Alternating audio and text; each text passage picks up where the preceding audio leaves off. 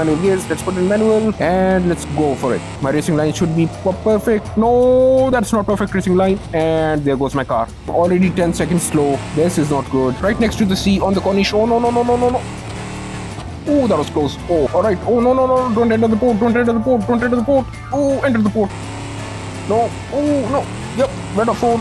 Oh, no. This is not good. And I just lost my rear wheel. So if you press K, our bed will tilt down. Oh, and lifting our other truck from the front. I think I can hit the roof up here now.